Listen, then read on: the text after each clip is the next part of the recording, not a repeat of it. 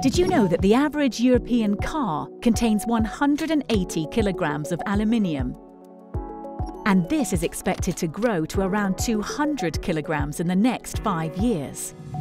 As car manufacturers and society put more and more focus on sustainability, aluminium is the perfect solution due to its lightweight and infinitely recyclable properties.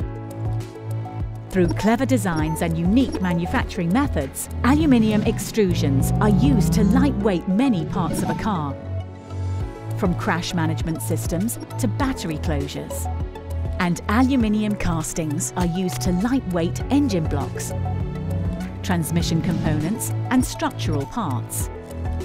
Last but not least, aluminium sheets are extensively used, for example, in hoods, doors and heat exchangers. As you can see, aluminium is the perfect material for sustainable mobility.